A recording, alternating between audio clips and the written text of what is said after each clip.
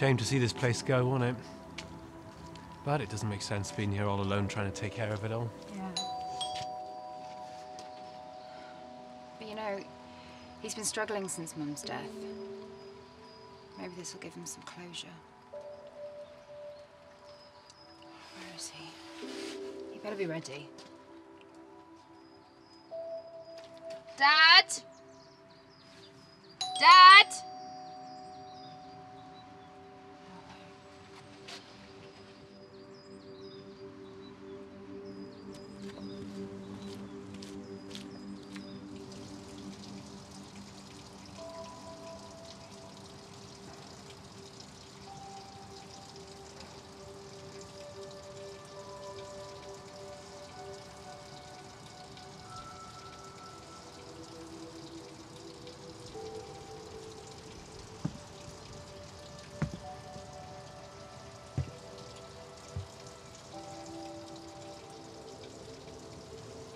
I'm going to miss this place so much. The memories. You took your first steps right over there.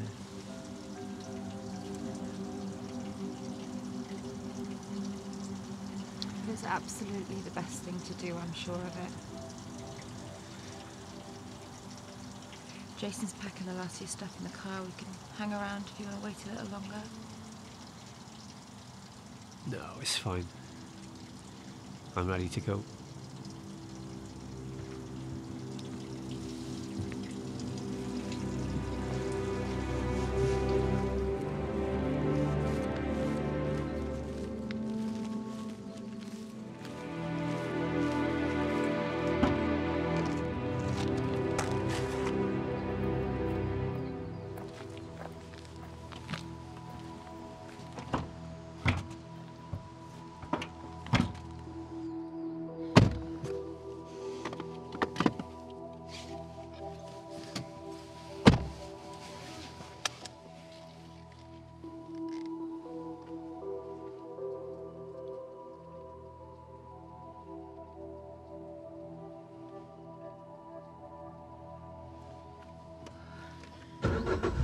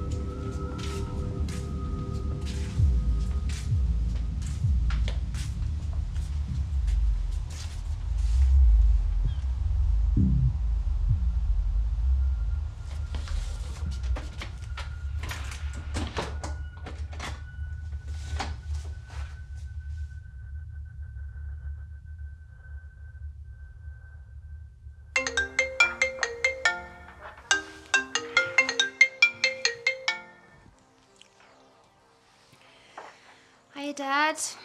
How you settling in? Not too well. There's something strange about the house. What do you mean? I don't know. Noises and things moving and. Dad, I forget where I put things in the house too. You know, you're bound to be a little all over the place at the moment. It's fine. You'll try and relax, yeah? Enjoy this new chapter of your life. No, no, it's, it's more than that. There's something weird going on here. Okay. Well, do you want Jason to pop round before work tomorrow? No. No, it's okay. You've got enough on your plate without worrying about babysitting me. Don't be silly, we want to help. At least give us a call, yeah, if you need anything. You know, we're always happy to swing by. Okay, very well. Good night, sweetheart. Speak to you soon. Okay, love you. Bye. My god, it never stops with him. I know, right?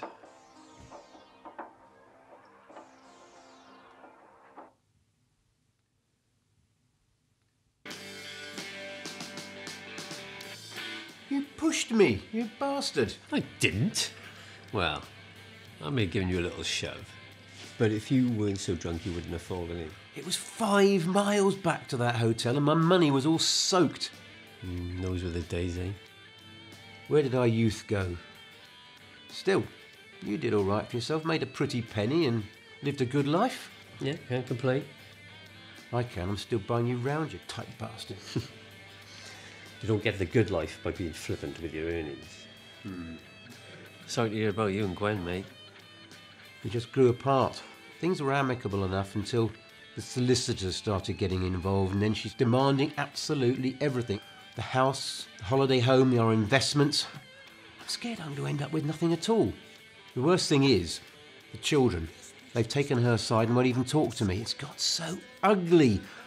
I don't think anyone really remembers the good times we had together as a family. Yeah. I'd give anything to have mine back how it was. She was a wonderful woman, your wife. Um, Don't you think it's time you started to move on? So can I? It's easier said than done, surely, but couldn't you just. I'd best be off, mate. See you, mate. Cheers.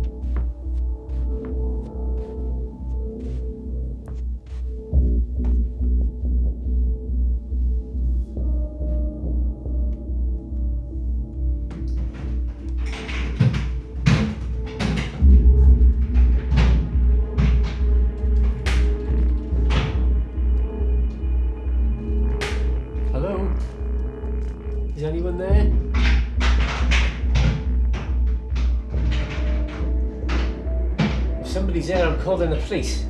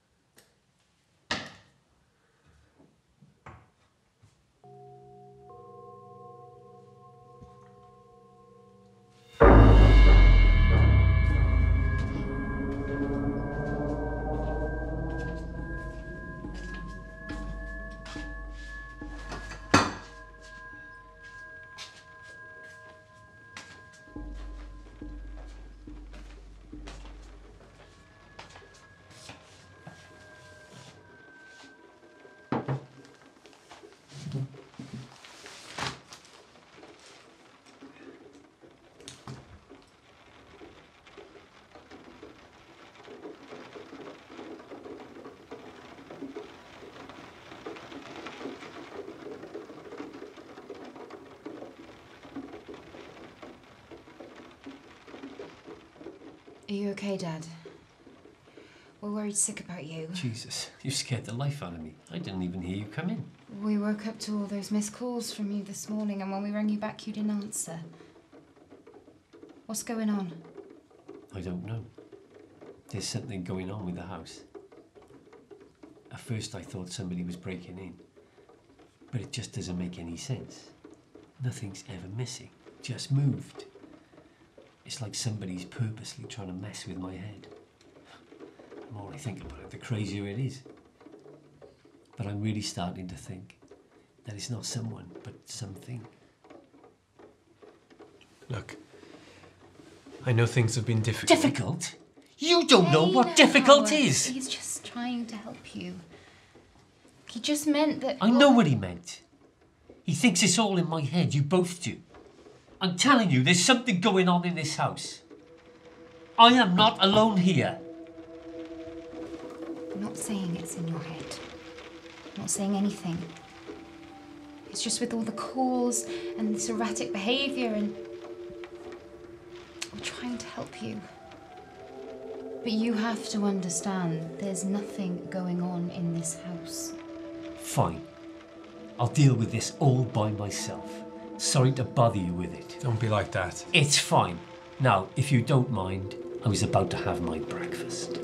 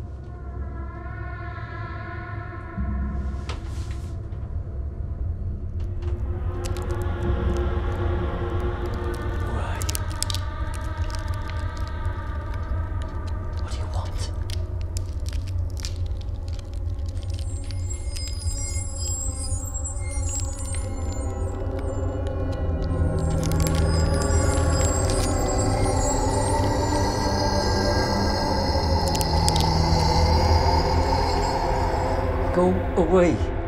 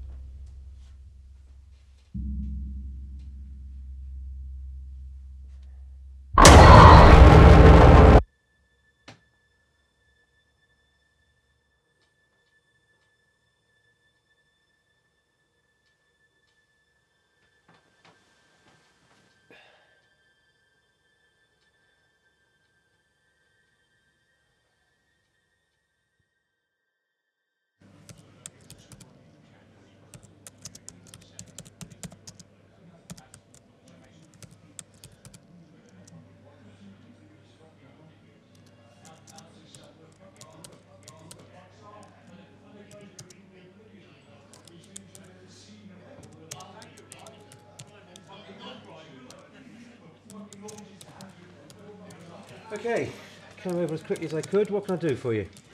Uh, yeah, look at this. So look, hauntings and poltergeists. What? You've got me all the way over here to look at this rubbish, you stupid bastard. I thought you were in some sort of trouble. I am in trouble. There's been all these weird happenings. Noises, things moving. I swear, something's in my house. It's there when I wake up, when I go to sleep, when I eat, when I watch TV. Waiting for me when I get home. I can sense it. Since the moment I moved into that place, I can feel it watching me. Okay. You have to understand that from my perspective, this is really looking ridiculous. I'm not being bloody ridiculous. I need some help here. I thought I could rely on You you. can rely. Okay, tell you what. My suggestion grab some of your things, come over my place for a few days. It'll be good for you to have the company. No, I can't. I do appreciate that, but I can't let this thing beat me. I can't just run away. Well, what are you going to do then? I just need to show everyone what I've been seeing. I think I got an idea.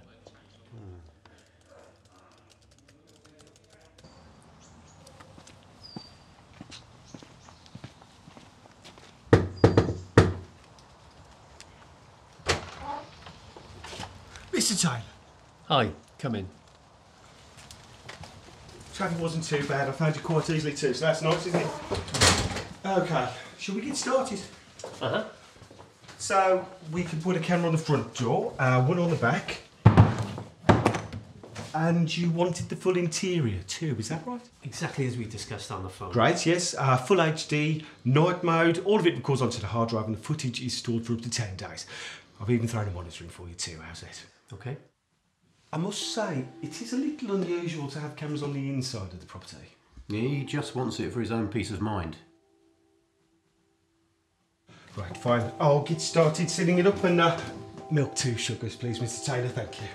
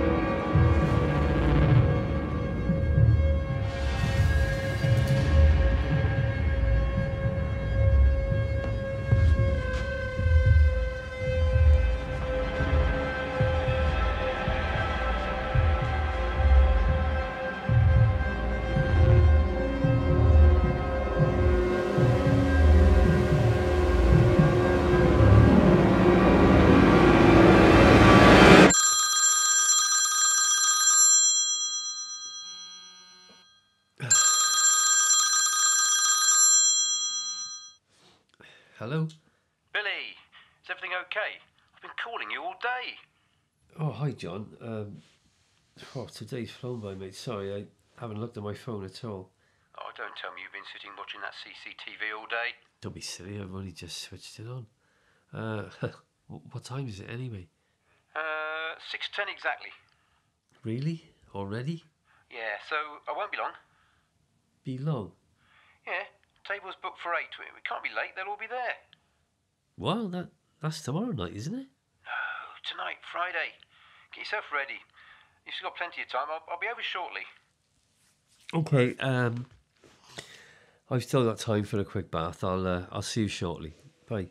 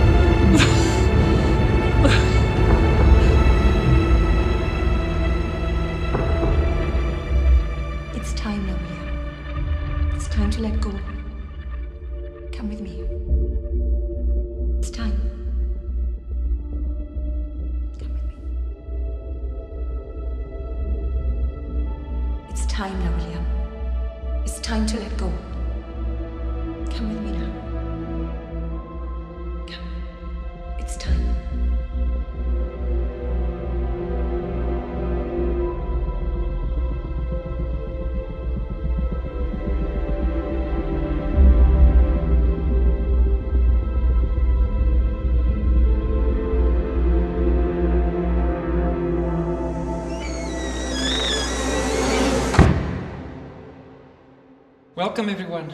We gather here today to celebrate the life of William Jones and to give thanks for his life and the experiences that we shared together. William was father to Heather and a husband to his late wife, Elaine, and a friend to all of us. William was a very successful businessman and a philanthropist. He spent most of his money supporting local charities.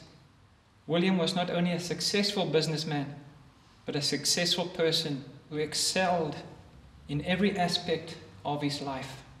He had an exceptional close bond with his daughter and his son in law, Jason. Thank you for coming. I'm sorry we haven't got in touch with you. It's just, well, we've had a lot to deal with. We're so grateful for everything you did for us. You uh, helped my dad maintain his independence. You're welcome. I, I'm just so sorry for your loss. we trying so hard to help him, but he just. He was just always pushing us away. He was just. I don't know, he was just terrified. All the time. I mean, he didn't recognize me at all. And he always it was almost like he thought I was trying to hurt him. I hate seeing Will so scared like that all the time. Don't blame yourself, okay? He was very ill for a for a very long time. 15 years after my mum died, he developed Lewy body dementia. He changed beyond all recognition. Sometimes he'd get so confused that he didn't even recognize anyone around him, including me and himself. Used to call us 10, 15 times a day, saying there's people in the house. You could hear noises all around him. I know he was difficult. Wandering around all hours in the evening, opening and closing doors, and getting convinced that someone had broken in. He couldn't have functioned without you in the end, and we'll always be grateful for that. Come on, we better go. The car's waiting. So much for everything you do, going above and beyond for him. We'll always be so grateful. Um, you know, is was is John here? He spoke of him quite a lot. I haven't seen him yet. Um, John died years ago.